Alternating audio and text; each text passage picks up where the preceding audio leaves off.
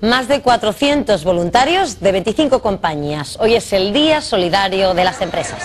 Se trata de una jornada de voluntariado corporativo organizado conjuntamente por la Fundación Antena 3 y Cooperación Internacional ONG.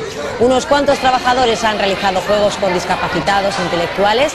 Además, entre otras actividades, han rehabilitado una casa de una mujer mayor. El objetivo de estas acciones es implicar a las compañías y a sus empleados en proyectos sociales. Una iniciativa que se hace simultáneamente en Madrid, en Zaragoza y en Valencia.